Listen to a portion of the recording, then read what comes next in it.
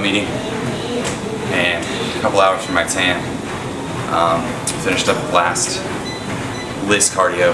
Um, feeling good, feeling good. Um, staying true to myself, staying true to my prep. Um, trusting the process, that's for sure. Um, peaking twice in the same week, is something I've never done, but you know, stay open to new things, new opportunities, and uh, just go at it, go at it with the right mindset. So that's what we're doing. We're here to have fun. We're gonna have a lot of fun um, tomorrow, and shit, full time. So stay tuned. Enjoy. Yes.